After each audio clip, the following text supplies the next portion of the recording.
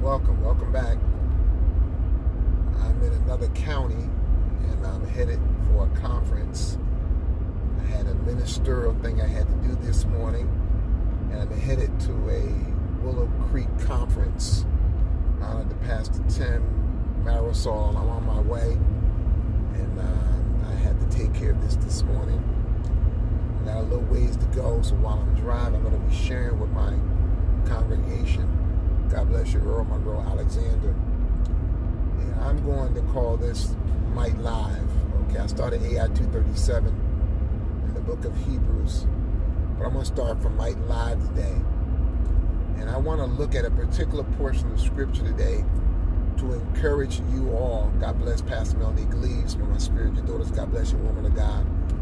I want to continue to give you an aspect of the true meaning of the word faith right? This is something I want to show you. I attended a charismatic church for about six to seven years back in the early 80s, all right? Also read every charismatic word of faith book you can imagine. Fred Price, Kenneth Copeland, Kenneth Hagin, Kenneth Hagin Jr., you know, name it and claim it, nab it and grab it, jam it and stab it. I mean, you just name it, you know, and um, and even in the early age of about 20, 21, 22, I knew the message was a little bit it was a little bit perverted and twisted. It was not with the full balanced gospel. Now, don't get me wrong, Pastor Mel. Don't get me wrong, Earl Monroe. I learned a lot from them, and I and I and I met my first fivefold teachers in the early '80s who really taught me the Word of God. And I would never dishonor or disrespect the doorway I came through but I am a person that reads and studies constantly. Not only the Bible, I read history, I study uh, Hebrew culture, Jewish culture, I read uh, other aspects and other ways of thinking. And I believe the Lord has given me a, a great insight into a lot of things, even early as 19 and 20 years old. And I knew there were some things I've heard I would say, nah, that's not God. I would hear the gospel of you don't have to go see a doctor, just claim it. You don't need a doctor. No, I said that's not true because doctors are gifts from God, and God gave them to give us insight into our bodies. And if you know, like me, we don't always eat the right food. We live in an American diet, and I knew back in the early '80s that some stuff I heard in charismatic churches uh, is a little bit off. And uh, hello, President Crystal CBJ. And so I had always try to always make sure I stayed balanced. I remember back in the early 80s, you know, it was, the big thing was to look like you're rich, look like you're prosperous, you know, claim Jesus' name, and name it and claim it, and nab it and grab it group. And we just, dog, speak, you know, heal, hands up, you know, and you know, a lot of times God of our faith. It was like it was like a bank card, like an ATM card, and uh, people were excited to have what you say, have what you say, have what you say. You know, I see people walk around claiming millions, claiming thousands, claiming cars, claiming Cadillacs, but nobody was claiming holiness obedience to God. Nobody was trying to find a way to find ways to get closer to God so we can really do His will, you know. And we were good for commanding sickness to die and disease to go away. And then we had the famous faith scripture, which was Hebrews 11, verse 1. And everybody can quote it by heart because that's the scripture lot of people go to when they start talking about naming it and claiming it and nabbing it and grabbing it. And so they will always go to Hebrews 11, verse 1 It says, Now faith is the substance of things hoped for, the evidence of things not seen. All right, and then we would take that one scripture, pull it to the side, and then use that scripture to claim houses and cars and Cadillacs, husbands and wives and girlfriends and and manipulate people. I claimed it for my husband. I claimed it for my In wife. Quarter mile, you know. continue straight onto Olcott Square. But even in my early charismatic years, when I used to hear some of these scriptures, I used to say, well, well, why don't we jump to 11.1? Why don't we read what happened in chapter 10 leading up to 11.1? Because I think it's the same subject matter at hand. How do we go and just take that one scripture out of its contextual setting and then blanket it over everything. I used to always wonder how you take Hebrews 11.1 and make that the granddaddy. Continue straight onto Olcott Square, You know- then turn right onto US 202 North. You know, one of the one of the things I used to always, you know, used to laugh and Turn chuckle, right onto US 202 North Morristown Road. chuckle my breath over was how do y'all go past ten chapters of Hebrews, and then get the Hebrews 11 verse one and take that scripture out and then use it for commercials and use it for TV, and how do you take that one scripture Hebrews 11 1 and then take it and try to make it fit what you want to do? do me a favor, leave the scripture in its contextual setting and read the portion of the scriptures that come before it and after it, and you will really see how that scripture fits. And what I've seen people do, and it's just Pastor Mike, uh, President CBJ, folks that have faith in the product, you know, faith in a better tomorrow, put faith in yourself. And he's always say, well, that's not scriptural. That's not what it says. I mean, I know it sounds nice.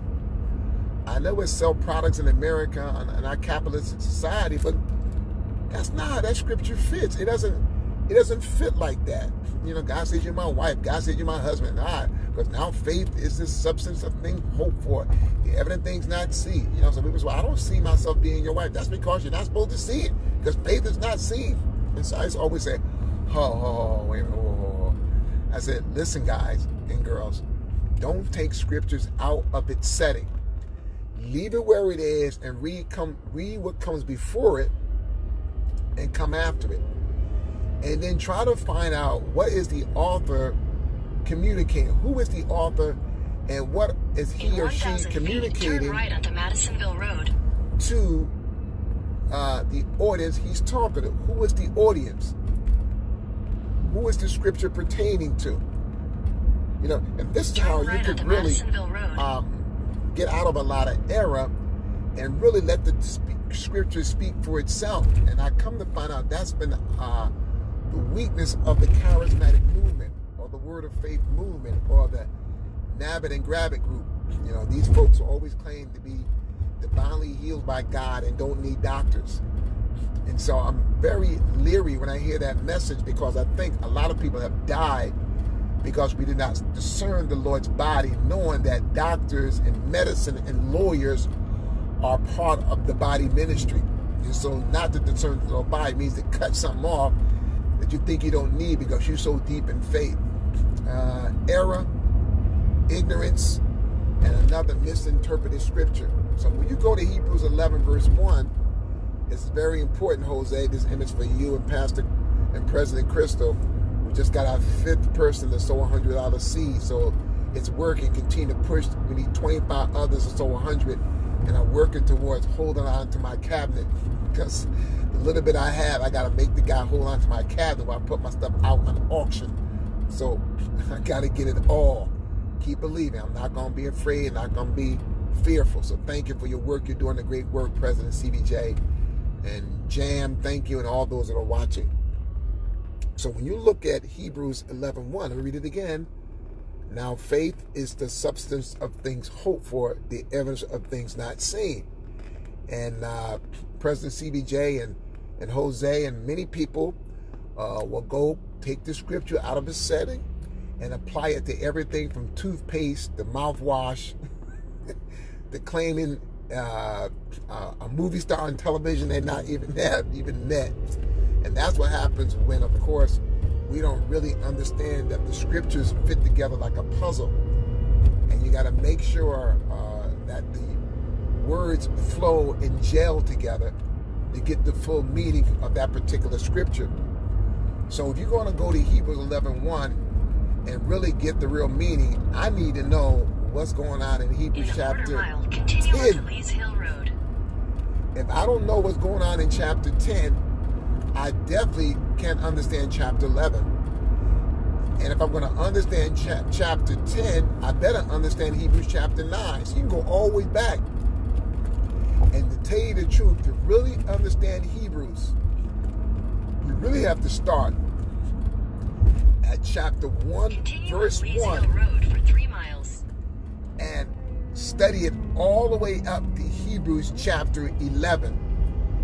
And then in chapter 12, it looks like the subject matter doesn't change, but he begins to talk about seeking Christ Jesus in the kingdom and what God will do in your life as you seek after the will of God, you know. And then the subject matter kind of changed in Hebrews 13, you know. And you got to see these changes in the scripture. If not, you won't know where to change at. The Bible says dividing the word, which means you got to know exactly where to switch the change of thought at. So what we've done, we went inside of a subject matter and pulled out one particular scripture to try to to try to make it fit our denomination or what we want to make it say. When you look at Hebrews chapter 10, just back up a few verses because I got to show this to you. And, and I'm still not giving you the full justice of the chapter, but I got to start at verse 35. And it says this Hebrews 10 35 says, Cast not away, therefore, your confidence, which have great recompense of reward. So, whatever you're doing, keep doing it. Don't let it go. Don't drop the ball. Don't quit. Keep tithing. Keep giving. Keep serving your pastor. Don't jump off the journey. Why is the Hebrew writer saying this? Because many of the Jewish believers that became Christians would quit and go back to the old form of Jewish worship, back to the temple, back to keeping of the Torah, because they felt that the persecution of that time was too much for them. Although they started out well, in the beginning they were good, but now because the, the persecution seemed to be heavy, they didn't want to do it no more. They quit and went back to the old form of worship, like some of y'all watching me. You started out on fire with Pastor Mike. You started on fire with Christ. You started on fire with your pastor. But all of a sudden, after all the prophesying and after all the anointing services, you had to get up and live. And you had to deal with contradictions and persecutions and people leaving you. All of a sudden, you try to quit and go back to a normal life, which you didn't have one in the first place. You thought you did. It was abnormal. The only normalcy you had was inside of Christ Jesus. And so Hebrew writer is encouraging the Jewish Christians don't cast away your confidence. It has a great reward. So, watch this, Ryan Stewart. God wants to reward you, God wants to honor you, God wants to bless you. And this is the type of blessing He gives you to those that keep serving Christ Jesus and operating in the kingdom no matter the contradiction and the persecution. That's the person that God rewards. Even if some folks give their lives for martyrdom, cut in half, thrown to the lions. That same faith has also shut down uh, kingdoms, quenched swords. People raised is a lifestyle in Christ and the operation of the kingdom. That is what faith is. It's not something you pluck out the sky and you use it for selling TV products. He is explaining to the to the Jewish Christians. So you gotta understand Hebrews 10 if you go on to Hebrews 11.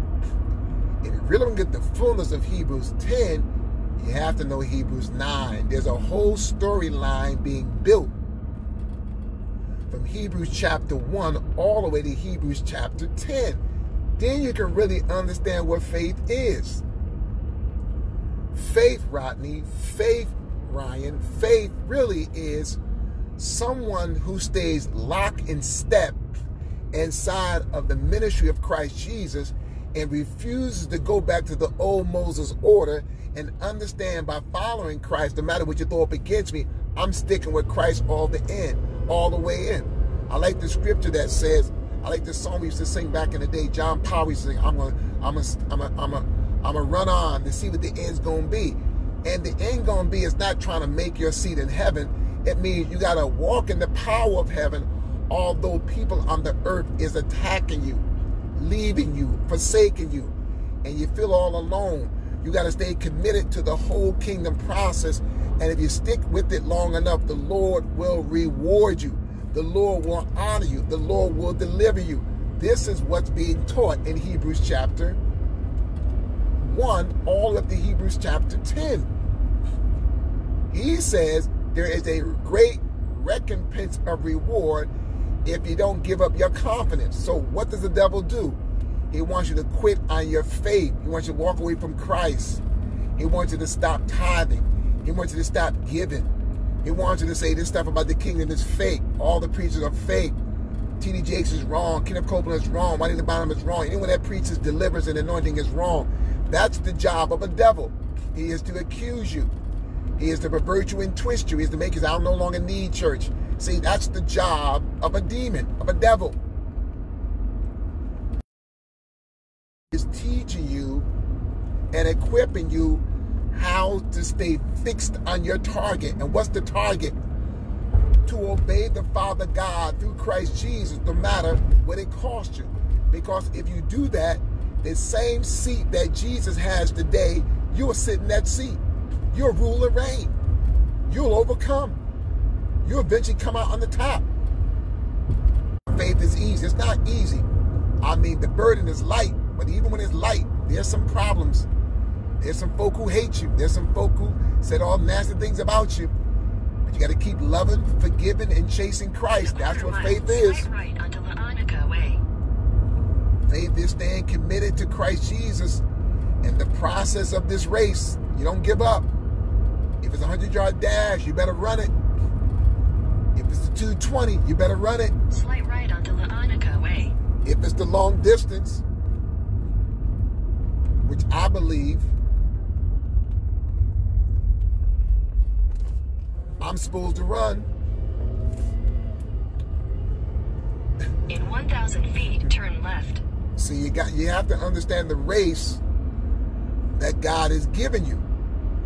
And you cannot compare your race to your neighbor. left. because everybody don't have the same type of race.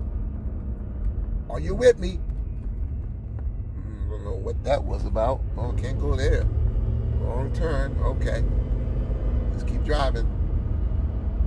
So,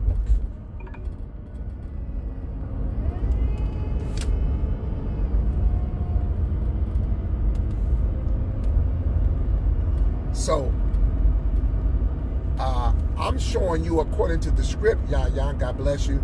Thank you for being so faithful. You're my youngest tither. God bless you. Thank you, Jesus. Thank you. Then my ponytail. Thank you.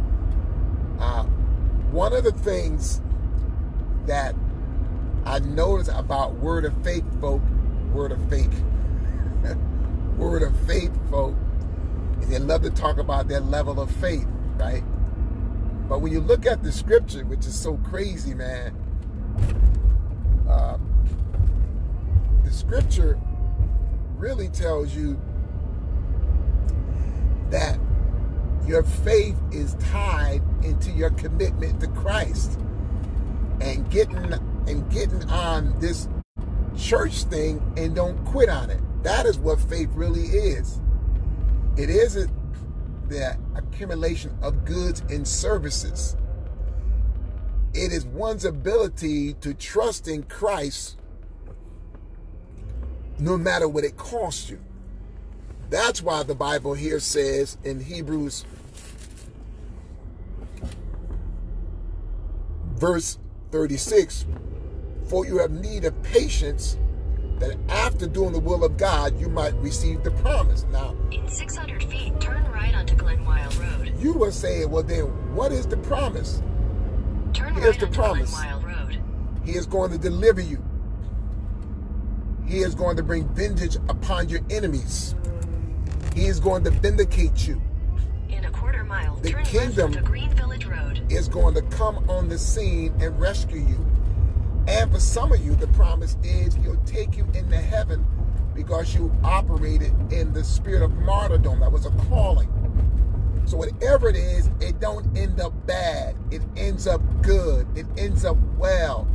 It ends up the way that you was always expecting. But the but the the turns and the and the crooks and the ups and the downs is all a part of God developing you Turn left onto Mature you. Road. and also chastening you. He does it all together. But he says, but you have need of patience. Look what it says. For you have need of patience after you have done the will of God. Did you read this? After you have done the will of God. You can't be claiming promises and living in sin and practicing sin. You can't claim the promises and say, this is the way God made me. I can do what I want. No, that's not how it works. A lot of times we, we say we're waiting on God and God waiting for obedience. I'm waiting on the Lord. No, God waiting for you to get married. Uh, God's waiting for you to get your head right. God waiting for you to stop stealing. God's waiting, He waiting for you to, to submit to His will. Don't be holding God bondage to something when God said you ain't did your part yet. God, I'll do mine. In a quarter mile, turn right onto And Main guess Street. what the will of God was in this particular portion of Scripture? Stick with Christ Jesus.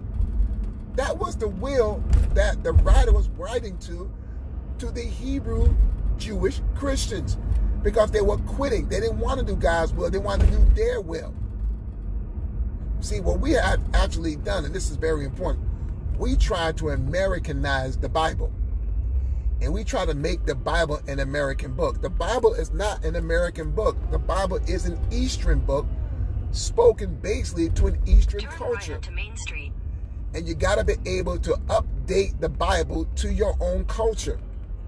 So here's the updated version do God's will. Stop thinking waiting on God, God waiting on you. And what is God's will? To serve Christ Jesus with all your heart, soul, and body. And we're not perfect. We sin. We got proclivities. We got weaknesses. Come on. I'm not talking about no perfect people in a sense of not making mistakes, but in terms of mature. Some things you do at 40, you should be doing since you was 20. I mean, there should be some, some maturity, some matriculation. There should be some growth. He says, you will receive the promise. All right? You will receive the promise. Which I really believe it's the fullness of the kingdom. It's understanding the kingdom is coming into full fruition. And things God want to do in your heart, in your mind. He wants you to see the fullness of the outcome. He wants you to see that Hebrews 12 chapter. I'm going to show you what that is. He said, For yet a little while, and he shall and he shall come, and he won't tarry. For the just shall live by faith. But if any man draw back, his soul shall have no pleasure in him. Now, why is that scripture there?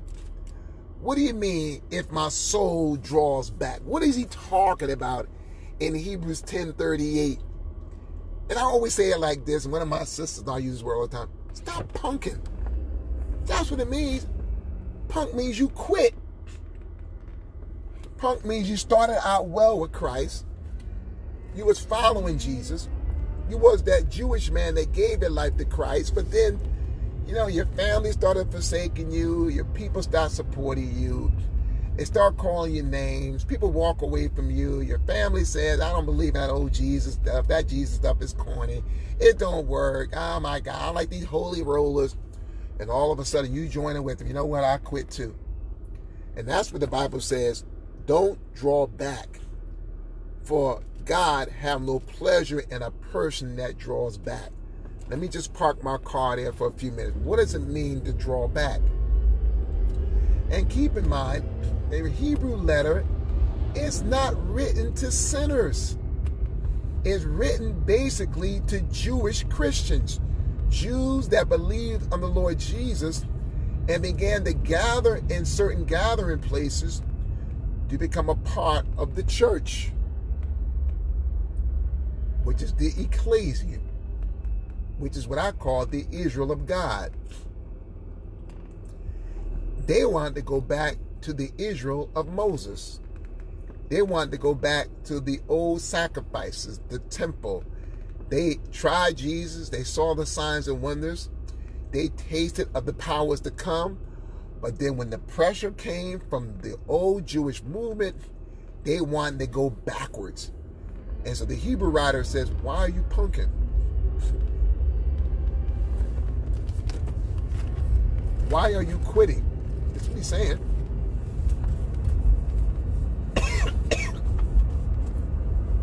Why are you trying to go back to an old movement?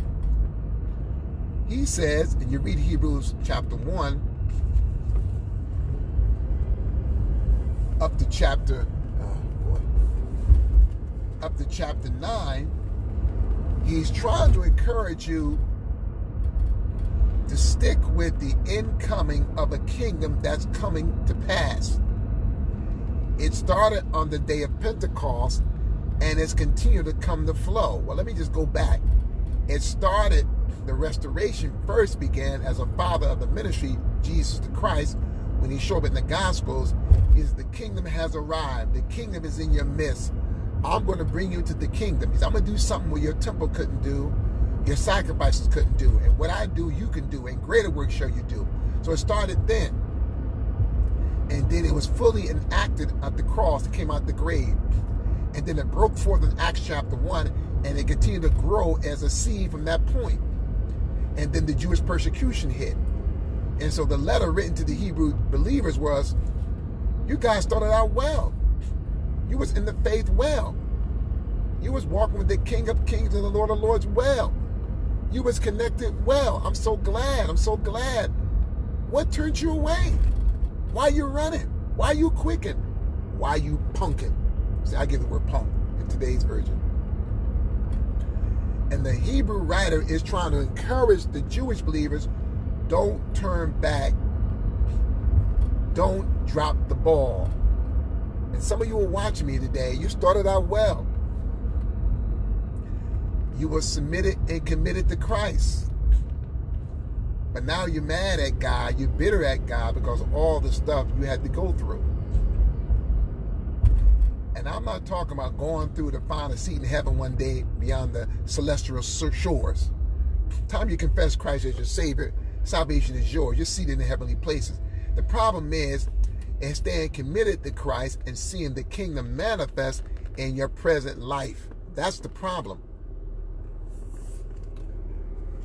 It says, But we are not of them who draw back unto perdition, but of them that believe to the saving of the soul. Why is the Hebrew writer writing this in Hebrews 10, verse 39? Because he's saying is, listen,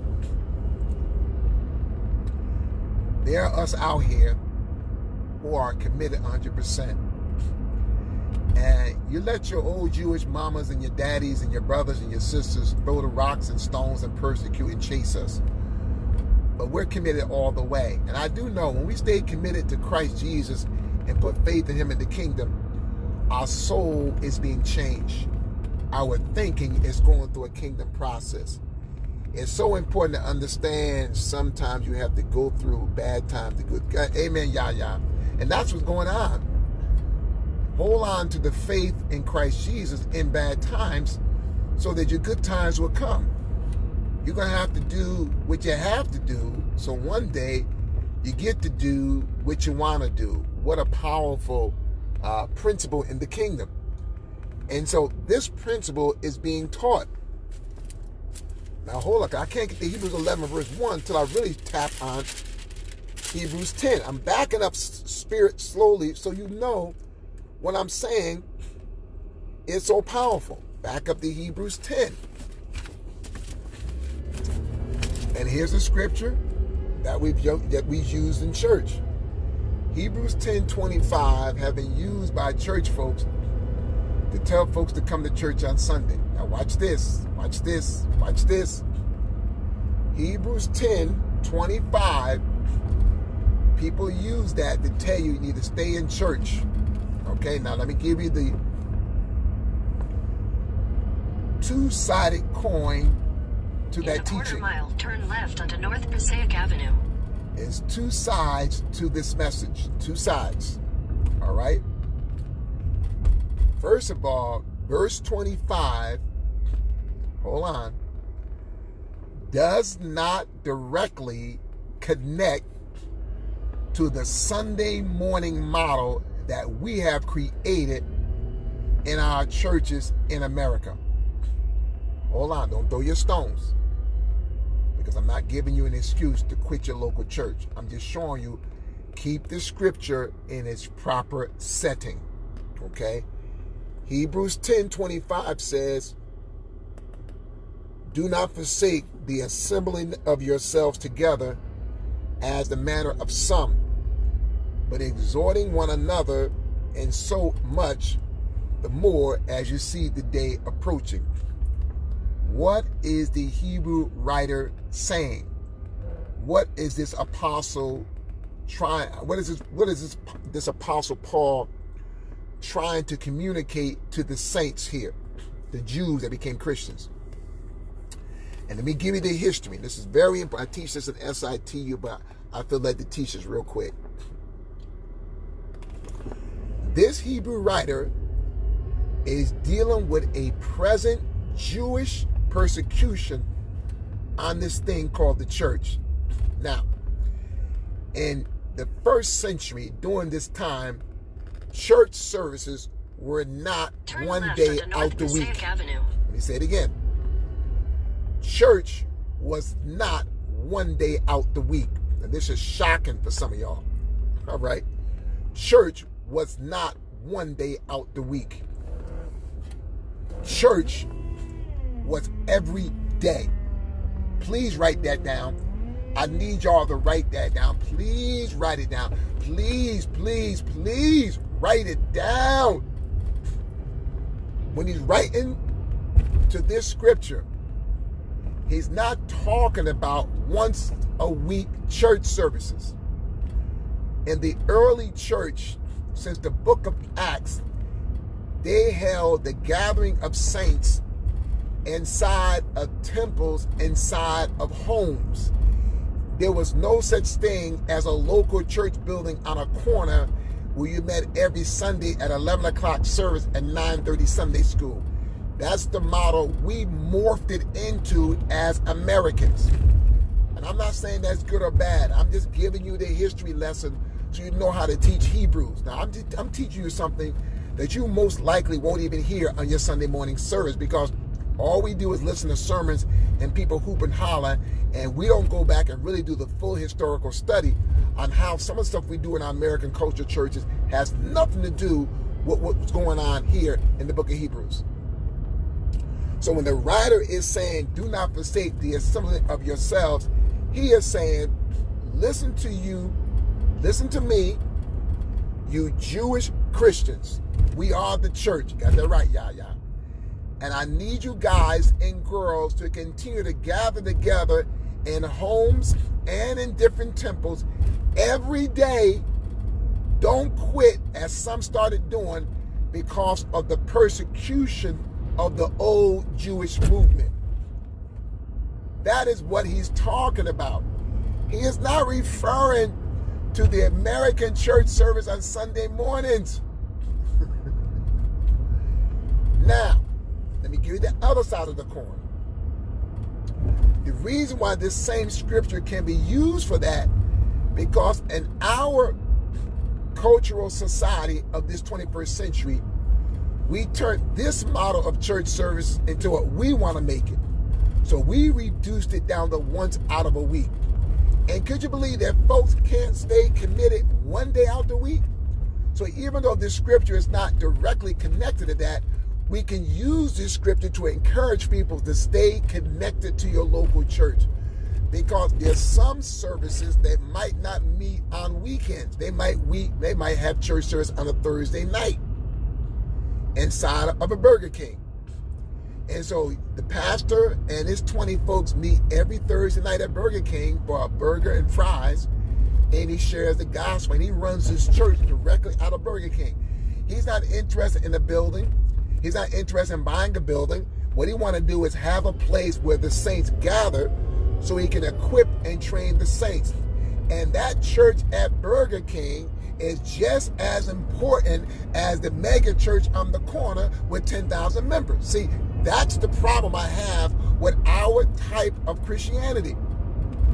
Because we have reduced it and deduced it to something that had nothing to do with the type of Christianity that was birthed in the book of Acts. Hang with me.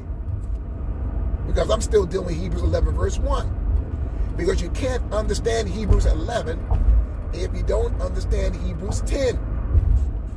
Hello, Keisha. So when you're about to join a church, don't join the building. Find out who the leader is in the leadership and what are their training. And then you join that group. In a quarter mile, Because wherever that senior Avenue. elder go with the leadership staff, That's who you follow. Don't follow the choir. Don't follow the deacon board. Don't follow the trustee board. Find out who is the fivefold leader, who is the angel of the house, and check out his leadership and find out is it and Turn it, is it Avenue. teaching the right thing that you can join yourself to so you can learn how to work ministry and there you pay your tithes and your offerings. Some places meet Sundays, some places gather on Saturdays, some places gather on Monday nights, some places gather on the football field. See, the church is universal. It's a people, it's not really a building. So when he speaks about gathering, he says you got to continue to gather, you got to huddle up. There's a thing we used to do in football, Keisha, called huddle up.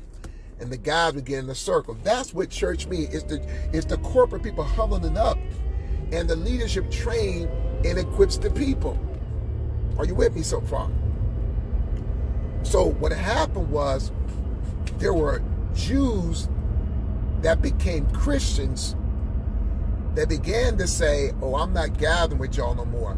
Because the last time I gathered, when I came home, my Jewish mother kicked us out. My Jewish dad kicked me out the temple. I, I, I can't. I'm not even. I'm, I'm not even a part of the Jewish Federation anymore. Now they took my Jewish ATM card. Oh my! So they start losing their Jewish benefits. They're being persecuted. And what the Hebrew writer said, hey, you off the. Sh- In a mile, continue onto Walnut Street. Hold on. You ought to shout and dance because of the spoiling of your goods. The word spoil means Continue onto Walnut Street, then turn right onto Winston Drive. means the taking away of something.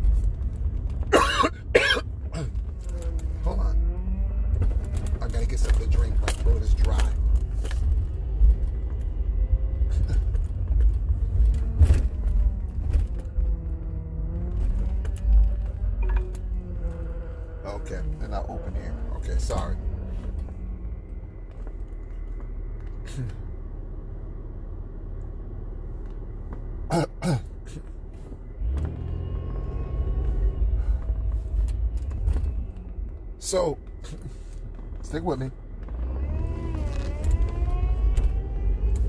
So what happens is, which is so important, 600 feet, turn left onto Goodhart Drive. the Turn left onto Goodhart Drive. the Jewish believers were being discouraged because of the mass persecution. Uh, not In a quarter mile, turn left onto Coventry Road.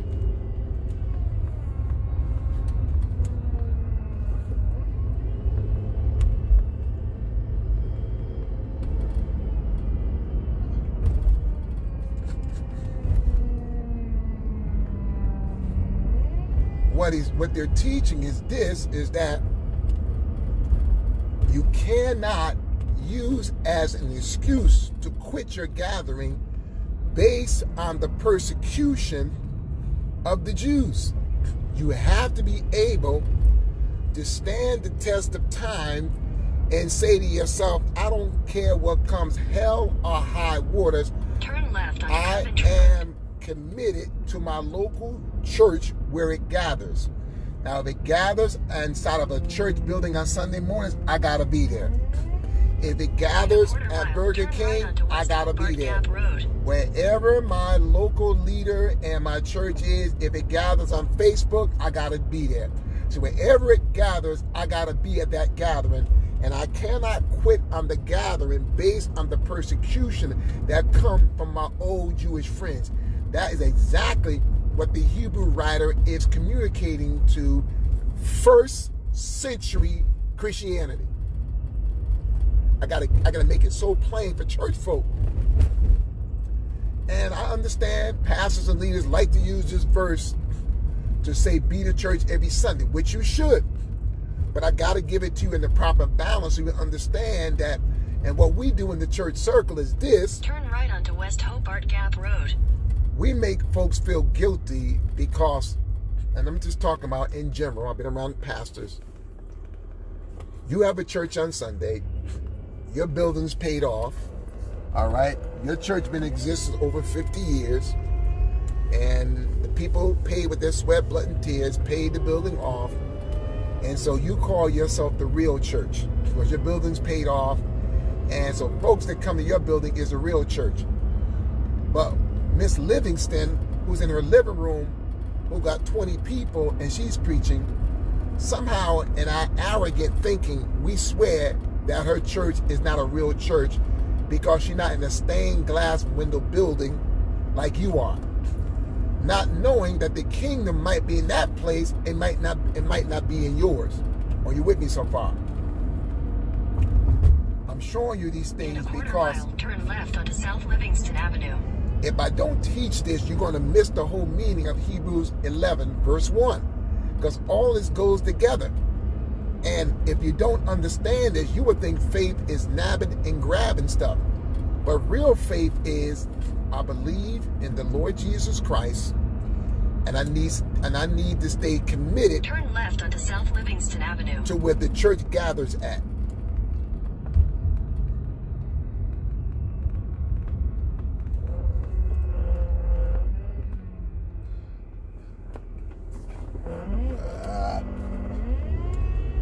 so that I will be able to stay committed to my faith.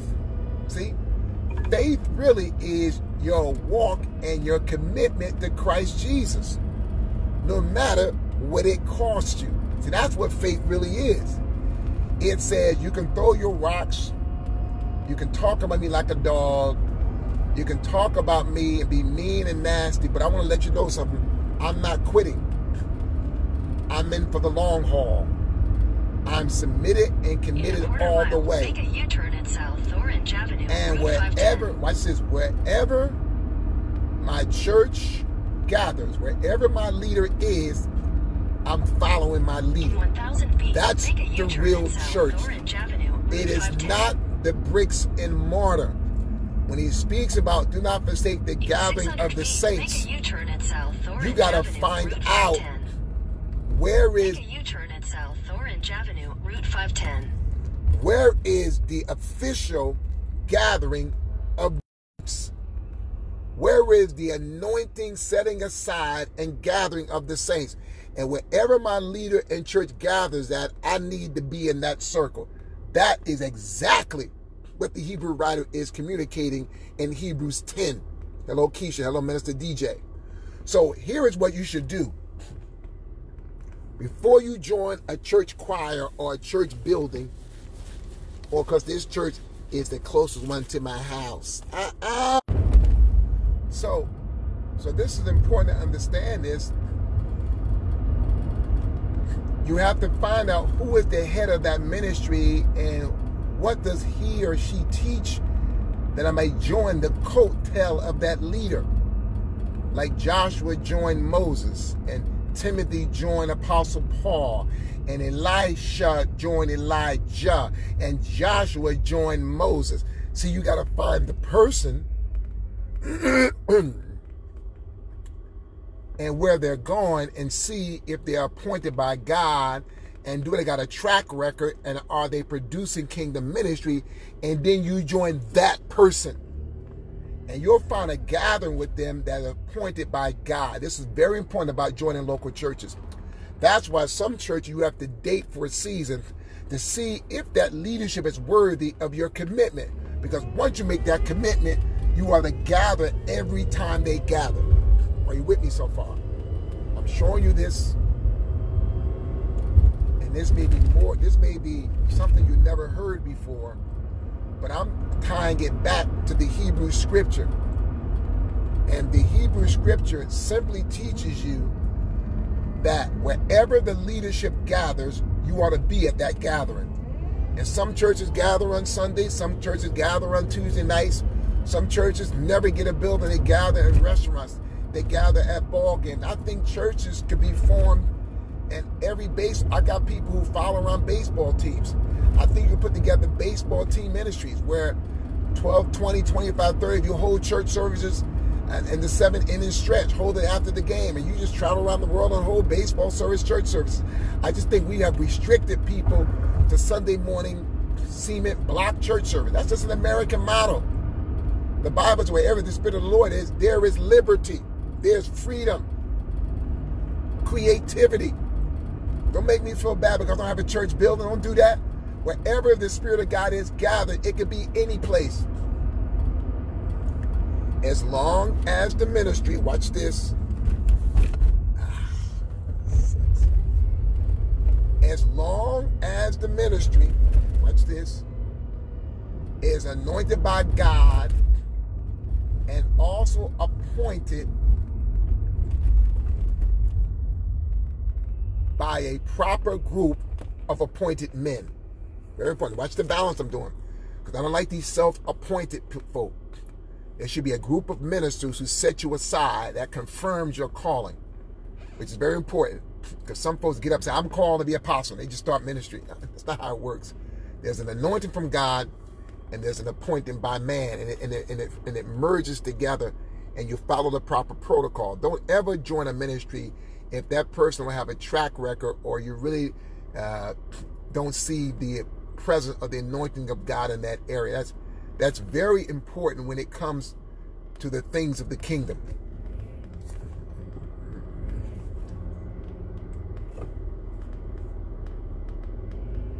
Very important to understand that. Now, if you don't understand that, you're going to confuse church services with bricks and mortar. All right? You have to understand that church services are based on the gathering of people. The leader and the gathering of people. How do I know? Because Hebrew 10 says, do not forsake the assembling of yourselves. This is Hebrews 10, verse 25. Not forsaking the assembling of ourselves together, as has become the custom of some, but exalting one another, and so much the more as you see the day approaching. Now, when you see the day approaching, folks took this scripture and moved it 2,000 years in the future about the second coming of Christ and the earth going to end and blow up and we're going to be raptured out of here. That is not what he's talking about.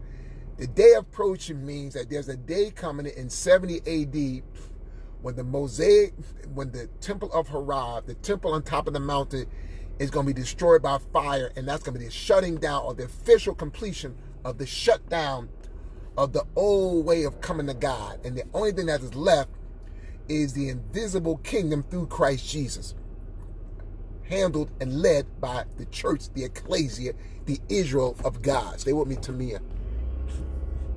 Pastor Marcus, God bless. Keep up the good work, son. I see what you're doing, man. All right, I see what you are doing. I see what you're doing. I'm going to have a donation. I'm going to sponsor a kid. I am going to sponsor one, okay? So hold on. I didn't forget you, son. I gave a commitment of a $70 seed. I will sow that commitment. I'm just almost, almost out this hole, all right? Just keep praying for Pastor Mike. He's trying to save my stuff before I lose all my videotapes and DVDs and CDs. I gotta stay focused. Keep praying for me, Pastor Marcus. Proud of you. I see what you're doing, man. Two bus loads are going this Saturday. God is good. So, so, so my question is, where's my leader at? Where's my team at? And wherever they gather, I want to gather with them. See, the church is gathering at Great Adventures this Saturday and Pastor Marcus Devlin's two bus rides of kids. The church is going down the parkway headed to Great Adventures. Fun, games. But I guarantee, Pastor Marcus, that there's going to be some sharing of the gospel, whether it's a prayer, whether they're going to see a light shine. This, boy, this thing takes me all these dumb places. It's not even scripture. I'm going my way. Um, you're going to see that this is the type of kingdom that God is building in this hour, where Christ shows up in the strangest places, and the anointing will fall on bus rides. Anointing falls at great events. Wherever the church gathers, there, there is where I want to be. Okay? The problem, Pastor Mike, just FYI, I only need five students sponsored, and I will be planting a seed my place. I got you, son. You ain't got you ain't got to even say that to me, man. I already know, son. I already know, man. Don't don't you get discouraged. Don't, don't you? I'm so proud of you. You stuck with it, and God supplied your need, man. And I'm proud of you, man. I'm so, God, man, proud of you. And I watch you grow, man. You, you're really coming to your own, man. And I, I give honor where honor is due, man. You doing your thing, Pastor Marcus. You're doing your thing, man. Proud of you. I would curse, but I'll lose audience. But I'm heaven proud of you. ah, God, I'm just so happy when I see people doing what they're supposed to do. Let me turn around here. I got the wrong turn.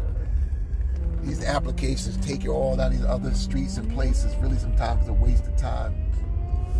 Anyway, you're listening to Mike Live, and I am teaching about what faith really is and what faith isn't. And I'm giving you the balanced message to what faith is. And uh, so the church, the ecclesia, is going to Great Adventures this Saturday. And Pastor Marcus is leading two busload of members of our churches down the parkway to Great Adventures. And I'm already speaking health, protection, no bad rides, roller coasters are tight, fun, relaxation. The food is blessed, the fellowship is blessed, and now also anoint Reverend Marcus to share word with these kids out there that the gospel of the kingdom could be preached. Thank you, Jesus. Stick with me. Thank you, Jesus. So watch this, Stephanie. Watch this, Pastor Marcus. So when Hebrews says, do not forsake the assembly of yourselves, I mean, wherever you see appointed and divine leadership and groups gathering, if you're the body of Christ, you should get inside that gathering and find out how can I support, how can I stay connected to the move of God. That is what I believe when the scripture talks about the gathering of the church. Are you with me so far?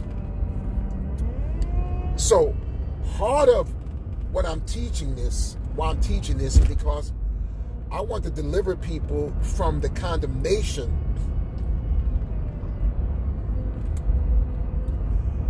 That some church leaders put on other ministries because they don't have buildings like you have buildings or they don't have all this all the stuff that you have. And you try to make people feel bad because they don't close their church and join yours.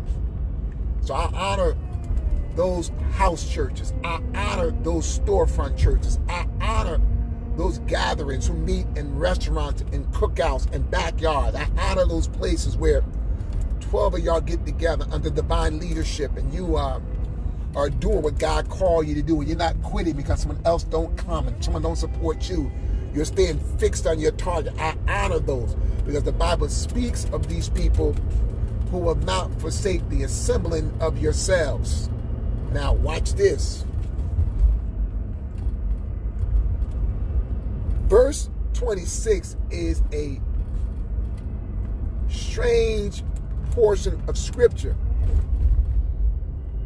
Because 26 says this, because it finds itself after 25. And look at this strange verse of scripture, Pastor Marcus and Yaya and Jocelyn Wade. God bless you, woman of God. It says, For if we sin willfully, after that we have received the knowledge of the truth, there remain no sacrifice for sins. Now, when I read this a long time ago, folks try to make this fornication, homosexuality, you know. But you know what he's talking about? He's talking about people that have been enlightened with the power of Christ Jesus, saw Christ move, seen the gifts of the Spirit, saw the dead raised, watched lives be changed. You're following Jesus, but all of a sudden, you're tired of the persecution. So you quit the church, you reject Christ, and you go back to the old Moses movement. And look what God says about these individuals.